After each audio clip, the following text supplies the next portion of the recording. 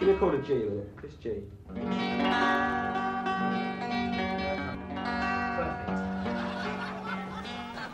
Ladies and gentlemen, there's been a lot of accidents with guitar players in clubs just lately. A few guitar players have been plugging in the wrong, wrong plugs and getting killed.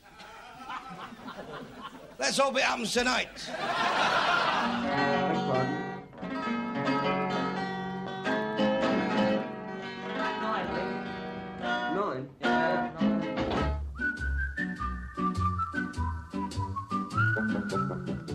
Imagine a world without the guitar. I've never known such a time, but it felt like that once in England, back in the 50s.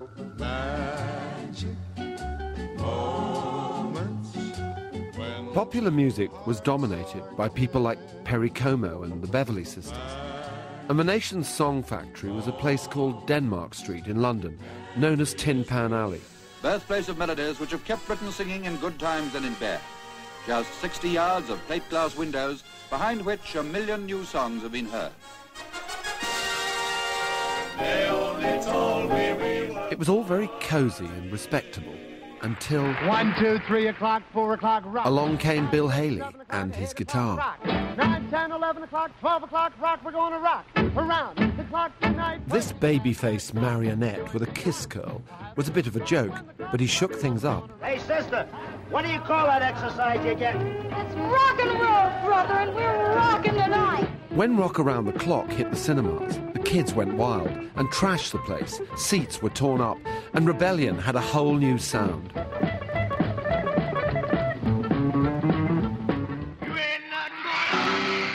And Elvis, Elvis was something else. In his hands, the guitar was so much more than a mere instrument. The king was sexy, and by association, so was the guitar. And at home, there was this the sound of the oud, an ancient ancestor of the guitar, a kind of Arabian lute played by friends of my father long into the night. Two instruments, clearly linked, but worlds apart. It was all very mysterious. The guitar now dominates the soundtrack of our lives. And look at Denmark Street today. It's nothing but guitar shops, each one an Aladdin's cave of instruments, catering to every musical taste, prompting for the uninitiated the question who could possibly need so many?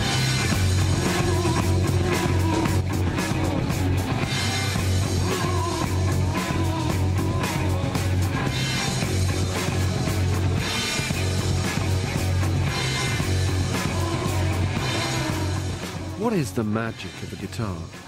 What makes it so special? Why do people love it so? And how did it come to rule the world?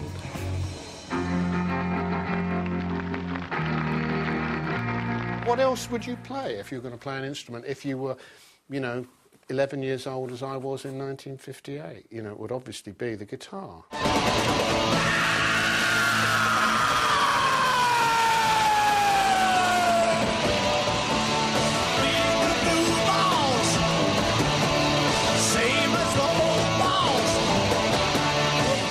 And the guitar was the one that was the trendy one. The guitar was the one that was. It just seemed to me to be at the centre of the universe. When I was about 16, I got into a fight, the first ever fight that I'd ever won. And the guy was so upset with me winning this fight is that he, he claimed that I'd hit him with a brick. He got everybody in the school to send me to Coventry. It was a horrifyingly miserable time, and I shut myself away with the guitar. There's a vengefulness about this, you know. When I come out with this guitar, you're going to fucking wish you didn't fuck with me.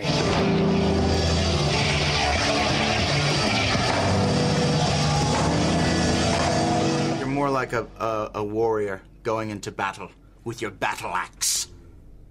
Whereas a piano is, uh, you're just a piano man. Suddenly, at the end of the 50s, Britain got the guitar bug. The piano was dead, and there was a new kid on the block.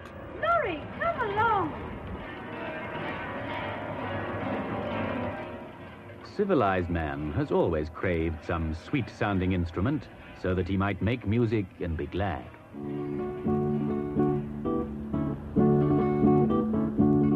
Back then, the guitar was new. It was cool. It was portable. And some even had knobs on. Today, his fancy turns more and more to something he can hang easily around his neck. If I'm honest, I'm a middle aged man who barely knows how to hold a guitar, so it's probably too late to learn. But there is someone who might be able to teach me. After all, he taught everybody else.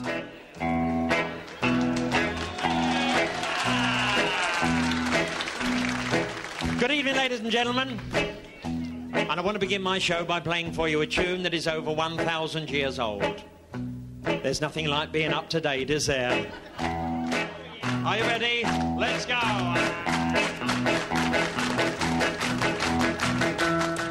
A man called Bert Weedon wrote the best selling guitar tutor ever. His guide to modern guitar playing made the remarkable promise that you could learn to play in a day.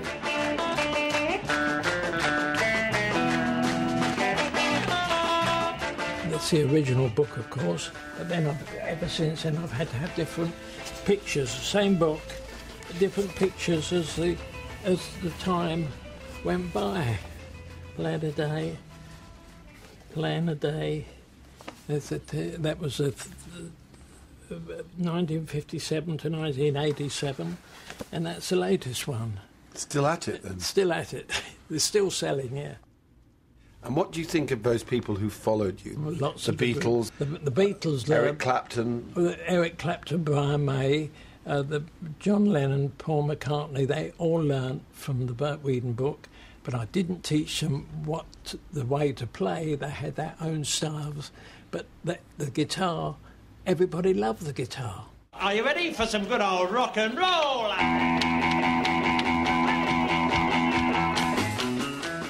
Bert proved that in May 1959 when he had the UK's first ever guitar instrumental top 10 hit with Guitar Boogie Shuffle.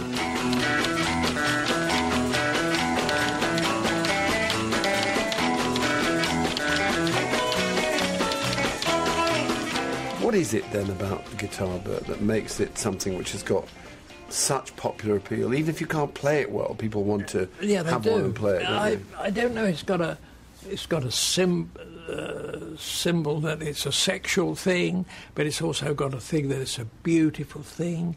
It's got a thing of emotion. Um, it's it's like a beautiful woman. You can cuddle it.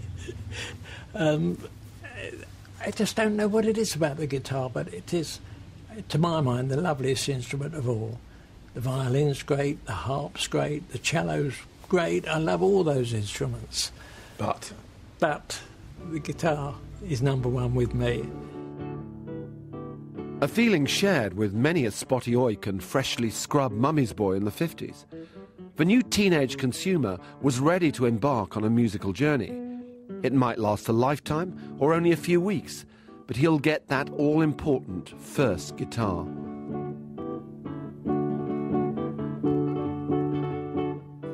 My first guitar was m- my grandmother bought it for me. She got it from a, an Italian restaurant. It was on, on the wall, and the guy replaced it with Chianti bottles.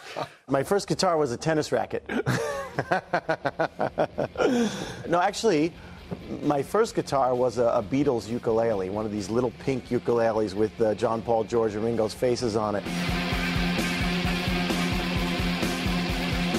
wanted to have a guitar. I remember telling my dad, I think I was holding his hand, had a picture of Elvis Presley on the, on the head. I think it was made of plastic. I want that.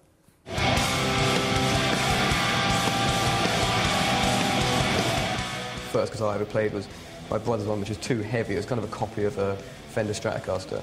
And I sort of hacksawed off the edges to make it a smaller size that could fit with me. This is my dove, and I hadn't even really noticed that I was wearing this hole. But I mean, Willie Nelson's got a massive hole in his guitar. It doesn't make it sound bad. It's akin, I think, to like a motorbike or a gun to a kid. And for me, it was this fascinating, uh, mysterious, totally captivating item. First guitar I got was uh, would have been about four or five.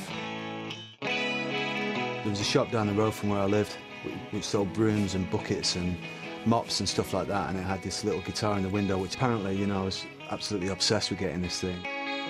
I mean, my mother tells me that on a Saturday morning she would take me down to uh, this department store where she'd do her shopping. I mean, the times being what they were, you could do this, and she'd take me to where the um, guitars and amps were, and then she'd um, nip off and do a shopping and leave me there and know that I'd be all right because I wouldn't move. I'd just be kind of in this, you know, kind of fantasy land, really. Do you remember your first guitar, getting your first guitar? Yes, indeed. Uh, my first guitar came from a street market called Petticoat Lane, and I used to go down there every Sunday morning and sort of touch the guitar, and the man would say, clear off out of it. And eventually I saved up 15 shillings, which is, of course, 75p Yeah. in today's money. And I walked up, and he was just about telling me to clear off, and I said, I'll have that guitar, please, because I always wanted it. And he said, Oh, here you are then, son. And he gave it to me and he put it in two big paper bags. So I, I was so proud of it. And as I was walking down the street in East Ham, people would say to me, What do you got there, son? And I said, It's a guitar. And they said, What's a guitar? They didn't know. It's extraordinary to think that back in the 30s, when Bert got his first guitar, it simply didn't figure in the popular imagination. This was the first sound recording of a guitar on film, from sometime in the 1920s.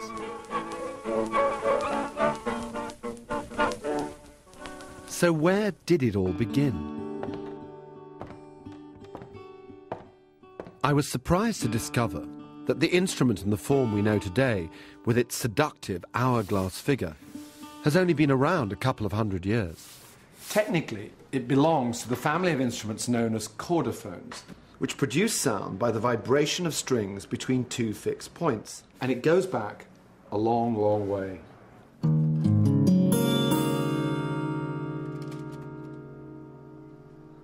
Nearly 3,400 years old and located in modern day Turkey, this Hittite carving shows a man playing a guitar like object with a long fretted neck.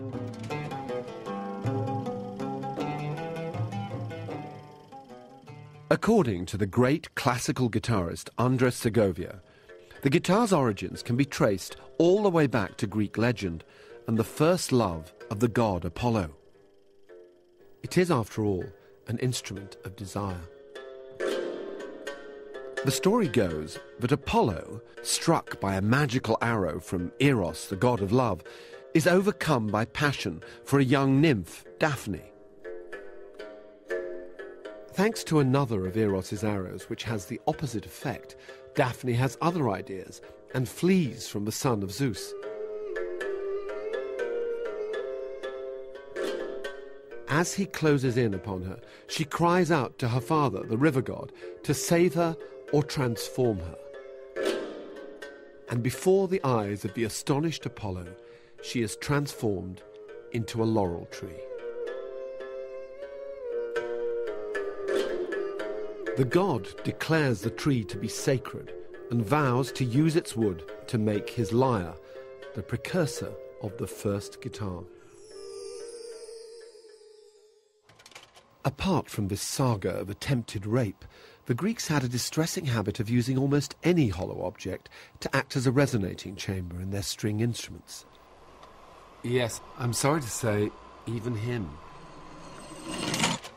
As well as the toll it took on tortoises and turtles, Aristotle had his doubts about the moral value of the lyre in the education of youth. The guitar has always had a bit of a bad reputation. You ain't nothing but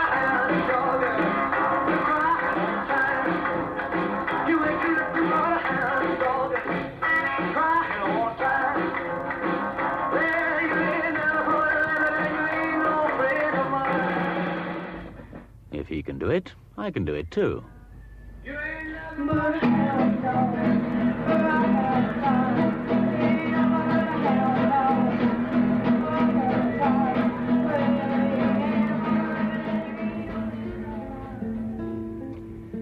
It is, of course, by no means essential to be a hound dog. A rock and roll guitarist can be turned out in 12 hours flat. The classical player must devote at least 12 solid years to patient study. You pays your money and you takes your pick.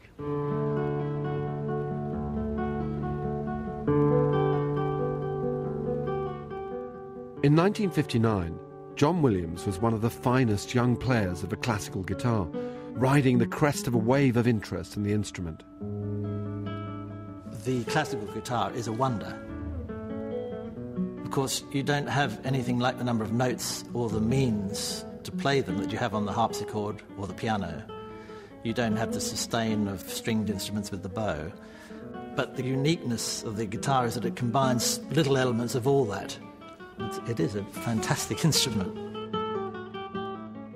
Today, after a lifetime playing, he's more ready than ever to look back to the instrument's humble beginnings. The guitar, back in 14th, 15th century, was originally a, a, a popular instrument with four strings. It was used for strumming and accompanying dances, popular dances, country dances, and songs. It didn't have the what we call the polyphonic technique of playing with the fingers like this, where you could play, you know, Bach fugues.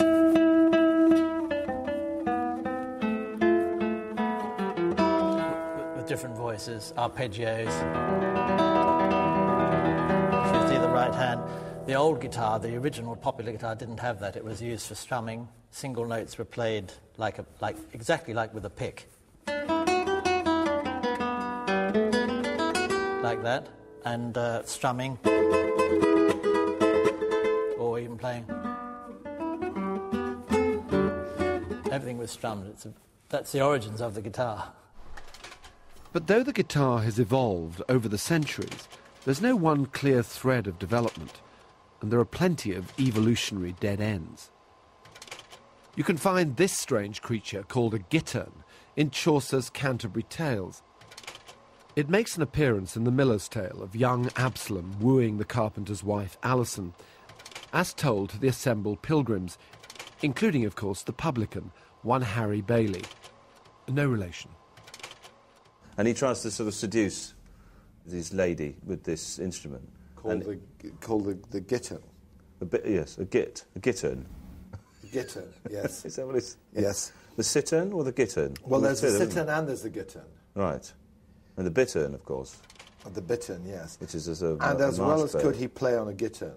In all the tune has Brewhouse tavern. Yes. That he ne visited with his solas, that any Gaylard tapister was. Would you know what a Gaylard tapister is? A gay, a gaylard. Would that be sort of a, a, a, a, kind of a barmaid? Would it? Correct, yes. Uh, that is right. A lively barmaid. oh, right. A saucy barmaid. A saucy barmaid. A yes. 70s sitcom barmaid.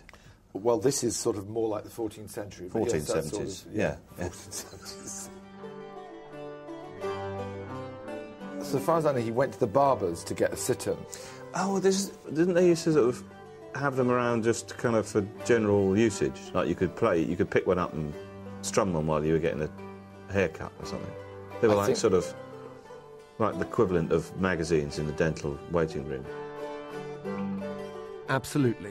And by Shakespeare's day, cittern head was a well known term of abuse, and the cittern itself a feature of any self respecting barbershop. Because by now the association of the instrument and the female body was pretty well established, and the cittern was available for every man to play upon, it soon became synonymous with, shall we say, women of easy virtue. Loose women were referred to as gitterns. All right, or, s- or what would be slat, slatterns? Or Slatterns and something? gitterns. Slatterns, git- all right. She is but a gittern. Any man may play upon her. Ah, you see, that's, that's harsh. It is quite interesting, isn't it, that the guitar as, as Hmm. the body of a woman. I mean, your one is. It's a strange looking woman. Yeah, there you are. You see? There's a slight suggestion of promiscuity. To see the cittern in action, I'd been given an address in Plumstead, deep into the Thames Delta, the home of someone called Michael Tyack. Hello? Hello. Oh, You, hello. must- you are Michael. That's right. I'm Alan. Hello, I've- Alan. I've, I've come to see your cittern. All right, please do come in. Um, be careful, be careful of the bongos. Don't, Bongo, uh, where's the- oh, yeah. Down here. please. Tyack is founder of the medieval folk band Circulus. I said mind the bongo. I did mind the bongo. He contrives to live in the world today as if it's both 1972 and 1272. And this is um, Kate. Hello, Kate. Who's Kate? Kate is. Are you my girlfriend, Kate? Yes. Yes. She is your girlfriend. Yeah. He also has a weird and wonderful collection of instruments. He showed me the Turkish saz,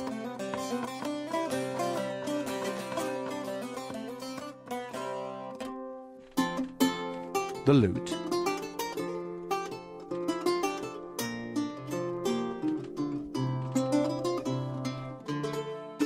the Spanish vihuela,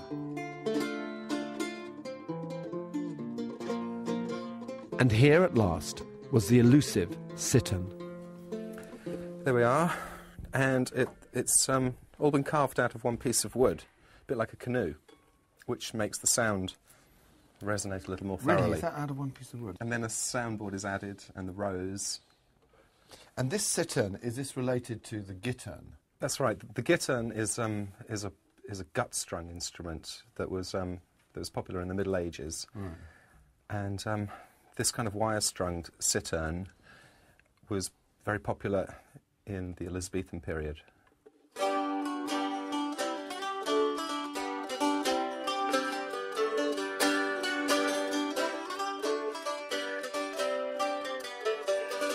There's a lot of sound comes out of that little instrument, doesn't it?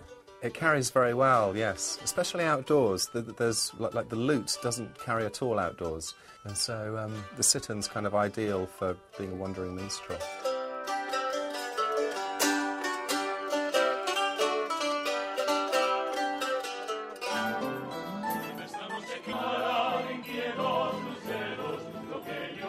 If you want to find a wandering minstrel outside the Thames Delta, you can, in Spain.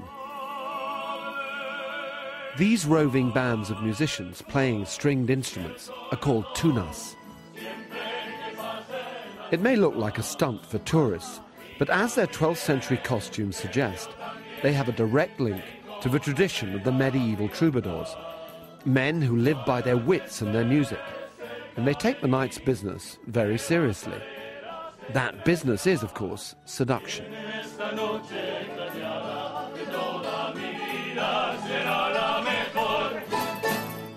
Scenes like this are at the heart of the guitar's story. The serenade runs deep in the instrument's DNA, no matter where you are. There's a stream beside the cabin in the valley of my dreams, and there's love light shining round the cabin door.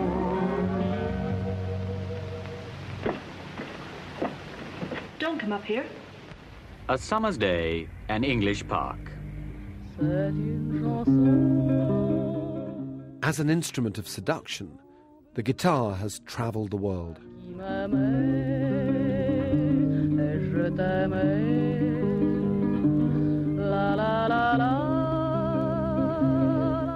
This is Miss Dundas, a great granddaughter of Lord Napier, educated at Cheltenham Ladies' College.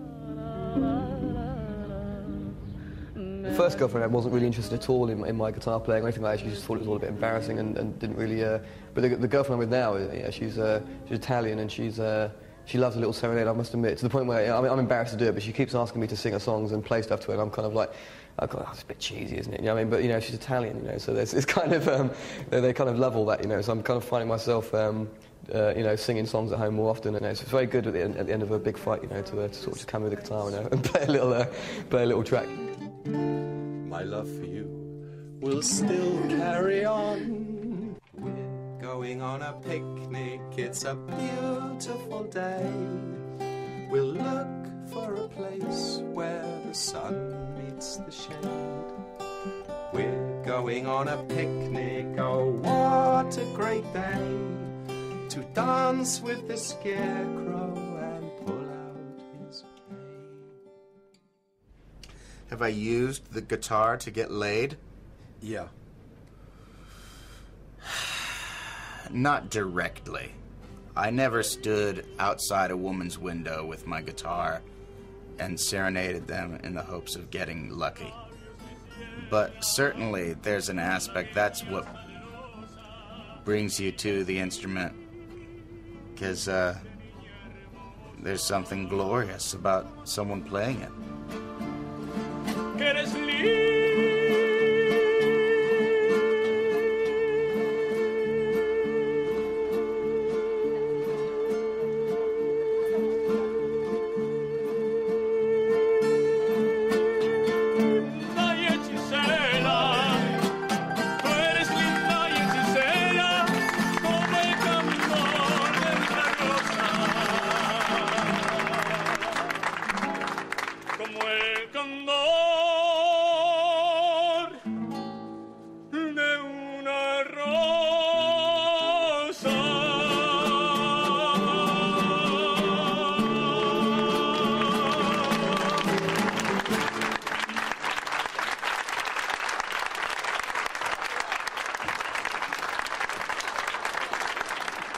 Hadn't just come to Cordoba for the serenades. Back in the 9th century, this was the capital of the Spanish territory, conquered by the Moors from the Middle East and North Africa, who brought with them that distinguished ancestor of the guitar, so familiar from my own childhood, the oud. Legend has it that Abu Hazza ibn Nafi, better known as Ziryab, fled Baghdad and settled here in 822. He's credited with adding a fifth bass string to the oud and setting up the first music conservatory in the world.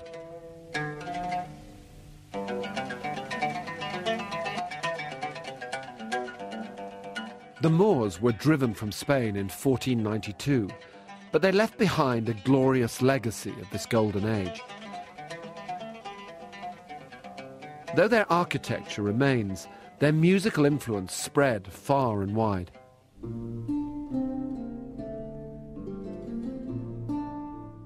In particular, the oud's cousin, the lute, went on to become the instrument of choice in the royal courts of medieval and Renaissance Europe. Henry VIII owned 26 of them, and his daughter Elizabeth also played. And when it was good, it was very, very good. According to some scholars, its music was a bridge between the material and celestial worlds, as far away from the street instrument, the guitar, as you could get. But its days were numbered. Because of its many gut strings, it was expensive to maintain and notoriously difficult to tune. You can lose your mind trying to tune a lute. I'm sure it drove a lot of people around the bend, and you could spend as much time tuning it as you did playing it.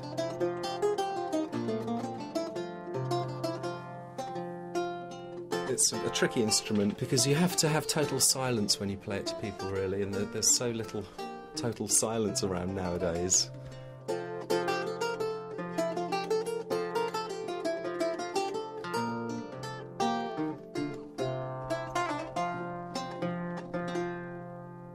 And here's the hero in our story. The man who did more than any other to end the lute's dominance of courtly music, Charles II. When the king returned from exile in Europe, he brought his guitar with him across the channel.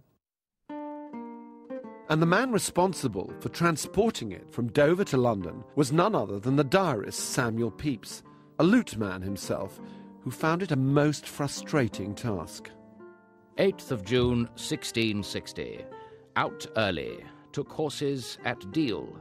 I troubled much with the king's guitar, and Fairbrother, the rogue that I entrusted with the carrying of it on foot, whom I thought I had lost.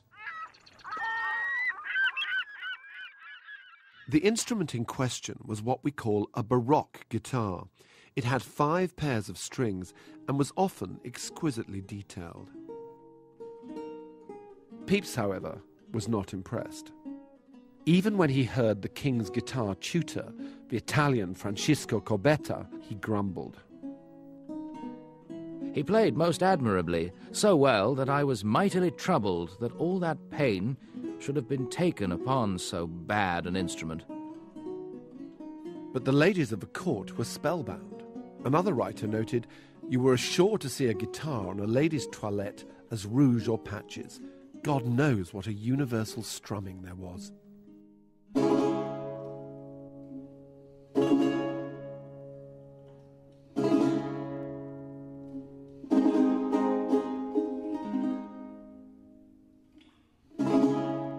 From the 18th century onwards, the guitar has been a fashion victim, falling in and out of favour as musical vogues come and go. It's had many fair weather friends and not a few enemies. One of the most implacable was a harpsichord maker called Jacob Kirkman, whose business was threatened when the fashionable ladies of London began abandoning their keyboards in favour of the wire strung English guitar.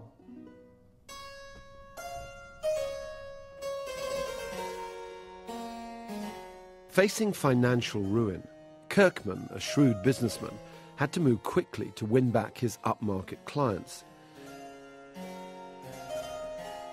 Taking inspiration from an unlikely source, the harpsichord maker devised a cunning plan.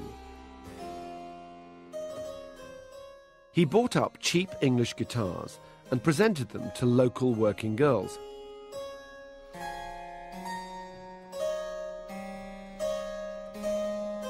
And the less than savoury street balladeers also got the Kirkman treatment. After a little tutoring in the basic chords, Kirkman was able to step back and watch his plan unfold. The ladies of fashion took the bait. They were so horrified to see the lower orders playing the guitar, they ditched their own instruments and returned to the waiting clutches of Kirkman and his harpsichords. The battle between guitar and keyboard would rage for the next two centuries. But if you couldn't make up your mind, there was a compromise.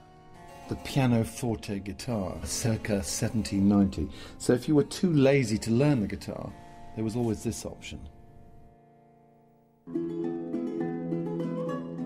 Enthusiasm for the guitar reached its zenith in Europe in the early 19th century, when the instrument took the salons of Paris by storm.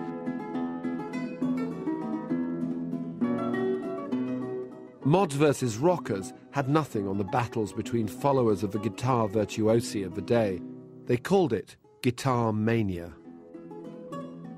And it was a Neapolitan, Mauro Giuliani, who inspired the first ever guitar fanzine. Published in London, it was titled The Giulianiad. The guitar hero was born.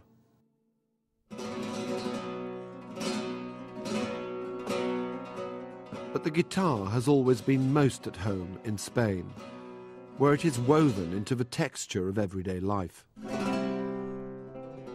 For many, flamenco represents the sound and soul of exotic Spain. It's a music of the people, and its roots go deep into the history of Andalusia, mixing Islamic, Sephardic Jewish, and Gypsy cultures. I've come to see a man who's helped bring this passionate music to an international audience, the great Paco Peña. He remembers vividly the moment that the sound of the flamenco guitar captured his imagination. I saw a guy, a young chap, carrying the guitar in his hand, and he was playing this.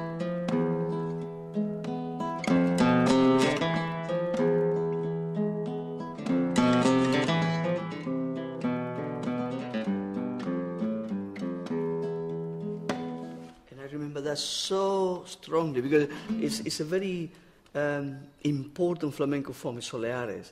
And I remember just that falsetto, that, that little piece. It just grabbed me. Can you show me, display for me, for instance, the Rasquedo? Yeah. Explain to me what the basic ingredients are then of the flamenco in, in terms of the differences that you would. Yes, uh, it, rasgado, rasgado really means it means strumming the strings. Um, it's not kind. It's, it's like hitting the strings.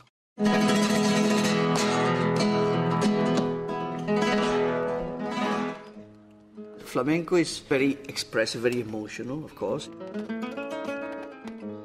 Particularly the songs, and the guitar does the same thing with the notes. It is very rhythmical. It has very sharp rhythms and at times very complex. It's not as though you're creating out of nothing. Mostly it is the guitar that begins to create an atmosphere and then the singer, you know, sort of sings to really to inspire everybody. So then the dancers start and, and sort of develop the dance.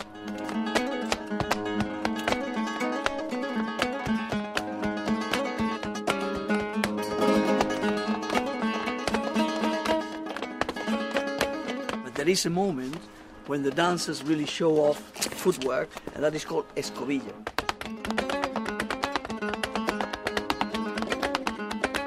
And this is what we were rehearsing the feet and the guitar.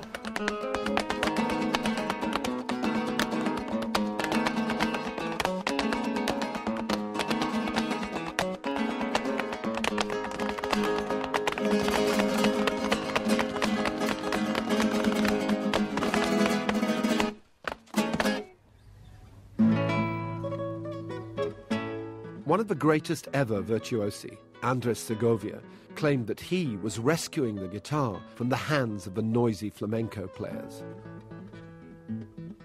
As his protege, John Williams, points out, he fought for the status and repertoire that the guitar had always lacked.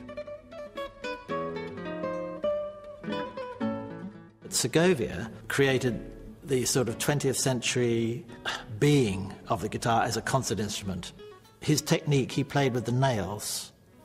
Previously to that, guitarists had never really, they, they played with the nails and with the flesh, but they'd never really developed a very clear sound that could be projected in public. You know, and his And the nail technique helped The nail yes. helped that, and he was so strong at doing it.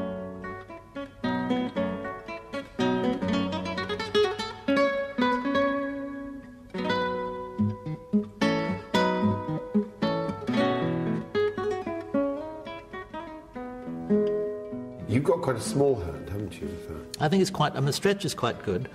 Uh, it's quite flexible, but it's not. It's not big. I mean, what do you need to, to be a. What, what physical attributes do you need? Um, the most important thing for classical players, which is quite can be quite a problem, is the nails of the right hand because we actually play with the nails, and it's the angle of the nail and the position on the string that gives the different colour. Even without changing the position on the string, I can make either a sound like this, and if I turn the angle round so I'm more flat onto the string, and I just turn it round a little bit.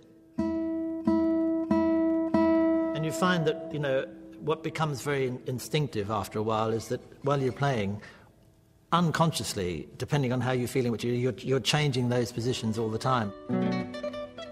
The concentration on the quality of sound and the variety of sound is to do with the classical guitar as opposed to popular guitar.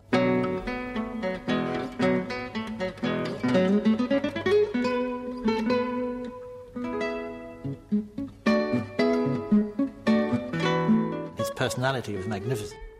He had a, a grandeur and a, a sort of magic about just seeing that chap down on the stage there, and everyone's absolutely hypnotized to hear these magical sounds coming. So that's what he did with the guitar. Thanks largely to Segovia, classical guitar is now established all over the world, even in China, where it faced opposition during the Cultural Revolution. And the first person ever to study guitar at the Beijing Conservatoire was a young woman, Shui Fei Yang.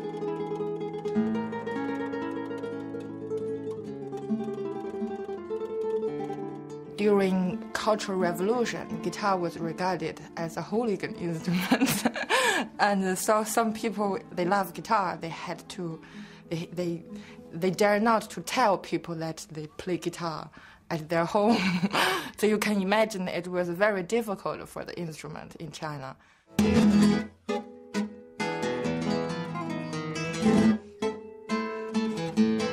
Think about it, only guitar, when you play it, you need to use your whole body to hold it. So that makes it very intimate. So somehow you, you feel like you're making music with your partner.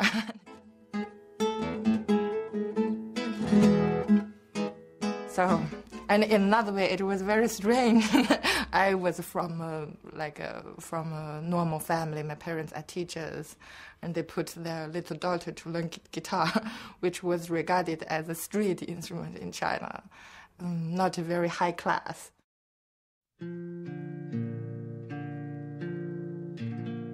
This not very high class instrument arrived in America with the very first settlers. It was brought by the all conquering Spanish missionaries and soldiers. There are records of guitar strings for sale on the Santa Fe Trail from Mexico two decades before the Pilgrims landed in 1620. One thing's for sure it has flourished here as nowhere else on earth, going from strength to strength until it became a true American icon. As soon as the mass produced guitar was available by mail order throughout the country, America was hooked. After the abolition of slavery, the guitar was the perfect accompaniment to the voice of the people, carried everywhere in this vast land.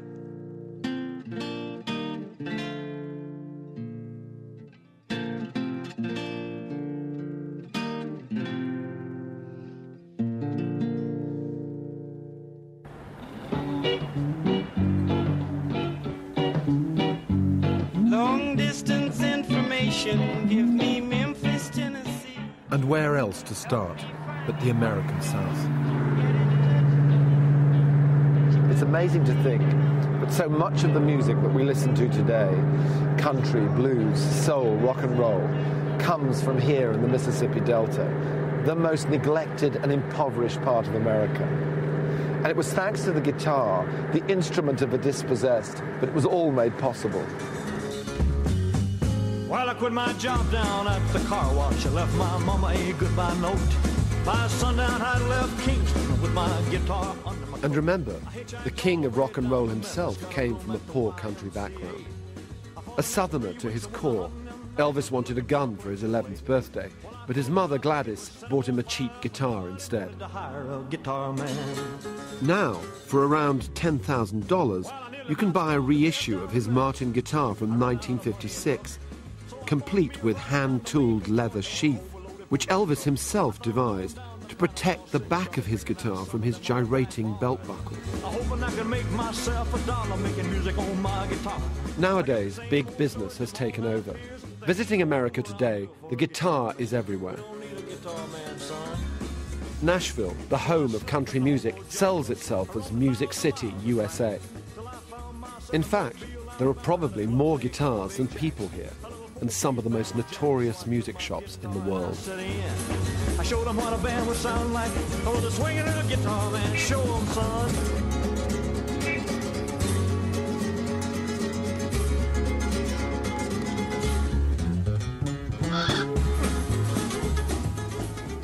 And in this strange guitar jungle, there is only one king. George Groon is the most influential guitar dealer in America. He also clearly loves reptiles. I had been collecting snakes since I was eight years old, but I found that my background in zoology really suited quite well a crossover to guitars. One time there's a guy had a 1926 Martin 0018 on the bulletin board at school, and my interest in herpetology worked really well. He traded for $50 plus an eight-foot boa constrictor with cage. And you know, I had the snake, he had the guitar, I had the extra $50. It worked. But the truth is, there's nobody better qualified to describe the evolution of the guitar in America than George. This is one of the earliest guitars made in New York City, one of the earliest made in the United States. This is a Martin made by C.F. Martin Sr. in New York in the mid 1830s. The guitar has an ivory fingerboard, ivory bridge, ivory body bindings, fancy herringbone wood trim. This was an expensive presentation grade instrument in its day. Martin was an immigrant from Germany, but it didn't take long for his company to adapt to their new home. They altered their designs to issue a true American guitar, and it looked like this. Thanks to the instrument's portability, the guitar went everywhere in America. It was found in the log cabins of miners and prospectors.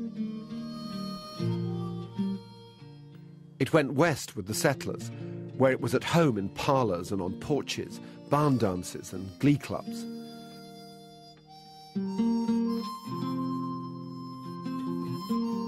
It was even on the front line of the Indian Wars. When the settlers of Meeker, Colorado, took a stand against the Ute Indians, there among the women and children, waiting for troop reinforcements, we find the guitar. But it was still evolving. As musical tastes changed, people wanted bigger and louder guitars, which would project more. Martin issued this monster called the Dreadnought, named after the biggest battleship of the day.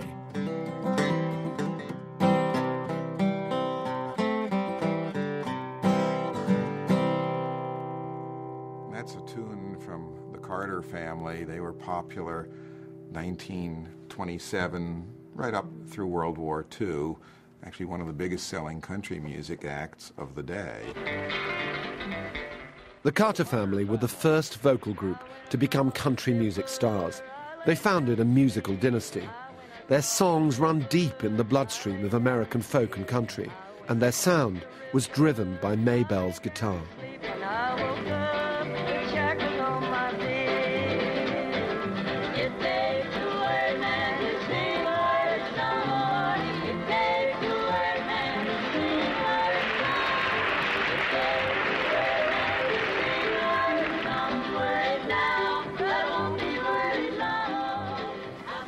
Is a 1928 Gibson L5.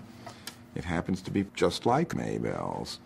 We even had the honor not long ago of selling her guitar, and it brought a record price for us $575,000. But the value of that guitar was primarily that it is, in my opinion, the single most influential guitar in the entire history of country music. She pioneered the use of guitar as a lead instrument in country music.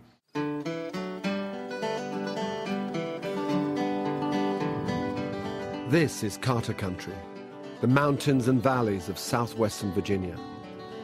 Back in 1927, when the Carter family began recording and broadcasting, the guitar was a relative newcomer, gradually replacing the old-time fiddle and banjo.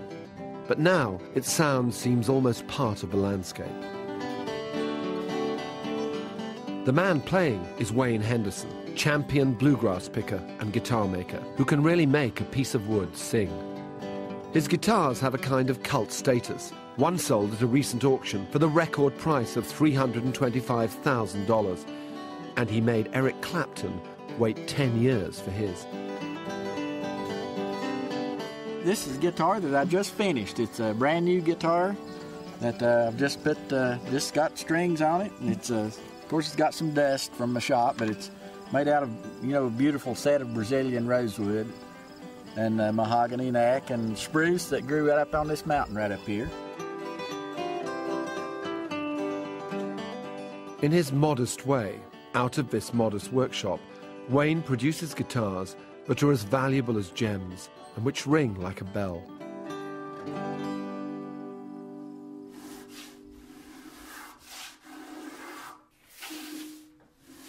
Those things originally were for making spokes and wagon wheels. They call them a spoke shave, which they would be about this long, that you could get with both hands. The little miniature spoke shave does a really nice job making this little piece right in here. We keep this locked up and hid because we don't want the whole world to know we got it. As Don explains, some of the wood is so valuable it's kept in a vault. Rosewood that uh, that hadn't been uh, exported out of Brazil since uh, 1968 when the ban was put on it. And so you can imagine how hard this is to come by. And it's the it's the holy grail of, of instrument music and we're we're really proud that we've got any of it. And not only is it the makes the best sound, I don't know how you'd find anything that had any more beauty than that. Making a guitar is a delicate balancing act between strength and performance. Hard to believe in the laid back atmosphere of Wayne's workshop. And when it comes to the bracing of a soundboard, Wayne, who worked for a while in George Groon's repair shop, has really learned from what made the old guitars tick. I really like the old Martins. When they developed this brace pattern in the thinking about the 1850s. And I've never heard anything I like the sound any better. And you never know about the jailhouse blues till they put you behind the wall. Nobody really knows how a guitar will turn out. It's at least as much art as science. And part of Wayne's art is in making it look so easy.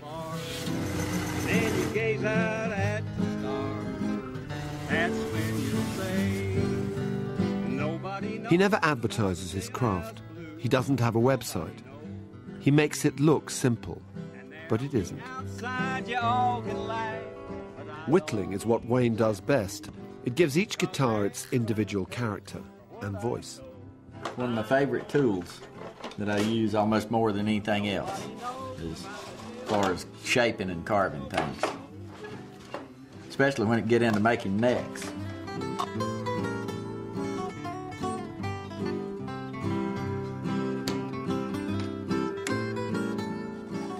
Right now, where there's braces are put on this full size, and I'm making cutting these little dipped out places called voicing or scalloping braces, and that lets the whole top vibrate more, and it lowers the tone because it's like a speaker cone. It'll let it vibrate longer and slower, and it makes more add, enhances the bass tone. People are always asking me about how you make guitar, and I tell them, well, you just take a good piece of wood like this, and a good good whittling knife, and you cut off everything that don't look like a guitar. And see that this that stuff there, you know, don't look like a guitar too much, you know.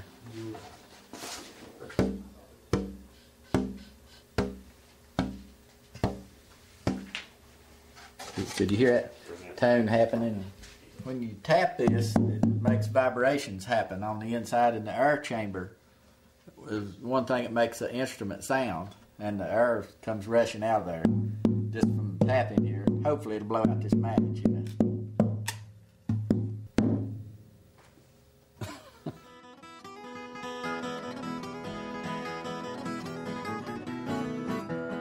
So, how did this naturally intimate instrument, with its mysterious alchemy of strings, wood, and a box of air, become so ingrained in the American imagination? The answer was a new technology, a new medium, which changed the fortunes of a guitar forever. Wish cousin, why do you take us along? Me too. He's going to sing on the radio. Isn't that wonderful? From the early 1920s onwards, radio broadened American horizons, helped a still young nation forge a sense of itself, and brought music into the living room, where the guitar was naturally at home. Now here's that well-known and better loved family of radio, the Carter family. And it looks like we're on the sunny side. Keep on the sunny side. The Carter family owed their popularity to sheer wattage. They broadcast from a radio station just over the border in Mexico, free of federal restrictions, which pumped out a signal that could be heard all over the country, as far north as Canada. By the late 20s and 30s, radio had created heroes, and the talkies put them on the screen. It's Dean! Radio Link is on the air, This is Gene Autry offering another broadcast. Let's go! Now when I want my breeches pressed and want my clothes to look the best, I call on us. Hollywood invented the singing cowboy, and Gene Autry was the very first superstar. Thanks to him, the guitar becomes so much more than a musical instrument. It becomes something you want because your hero has it. That's not all, there's one more. And to make things easier, Sears and Roebuck, America's most popular mail order catalogue, who just happened to sponsor his radio show, started selling Gene Autry Roundup guitars for a mere $9.65. You may think this is where the story ended. Oh, and uh, Gene Autry wasn't a cowboy at all, but a radio telegraph operator who was sacked for playing his guitar at work. And they carry on the feud just like. But the guitar itself was on the up. And across the Atlantic in Paris, a musician with a very different sound and image was turning it into a lead instrument which would enthrall the world. Listen to Django Reinhardt. It's the same melody, but what a difference in interpretation. Born into poverty in 1910, Django started out playing the banjo. An illiterate gypsy, he became the first genius of the jazz guitar. And in partnership with Stefan Grappelli in the quintet of the Hot Club of France, he found international fame. But he was lucky to be playing at all. One night in 1928, Django's caravan caught fire, and though he escaped with his life, his left hand was badly burned. Bedridden for 18 months, he retaught himself to play, using just two fingers.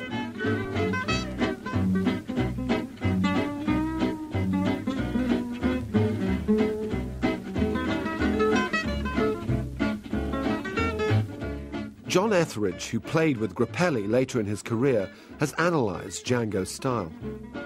The finger business is very interesting because I thought he'd be sort of going like this um, or something like that, but he doesn't. It's almost like it moves around like one thing. like that. So, and, and Stefan Grappelli used to say, well, you know, he had an advantage because, you know, all the time there's that nanosecond of choice about which finger to use. So you're absolutely, once he'd got a handle on it, which of course I, I without practicing, I can't get anywhere near, but once you get a handle on it, he's flying about like really free, you know. So you could say Django Reinhardt style was amazing despite having lost the use of his fingers. Or you could say Django Reinhardt's style was amazing because of the loss of his fingers. Django was a gypsy through and through, and relished the freedom his status as an outsider gave him. Django was like a prince and was very, very conceited. The thing about not bothering to turn up for professional engagements and things comes from security, not from insecurity. It comes from, oh, I don't want to go. I can't be bothered, you know. I don't need it, you know. Whereas Stefan would always, oh, he's always there early, you know, ready to play. And, and so they were always falling out. Hello, where is he? He's never there. Listen, he was a genius. But so what? He was never there. For many guitarists who came later, Django seemed to embody the spirit of the instrument. He was my god. And one day I got a phone call and they said, Would you come in back Django Reinhardt with Stefan Grappelli? I said, Would I? And so I went down there and I can't speak French and Django couldn't speak English. And he, we were sitting like we are on a settee and he got a guitar and he went, Brum, and I said, encore, encore. He went, Brum. I'd never heard anything. I said, encore, encore, s'il vous plaît, encore. and he, he just got the guitar and sort of tossed it on a settee and, and moved over. And I thought, I'm actually playing with Django Reinhardt. And it was a most exciting day because he was the best guitarist ever.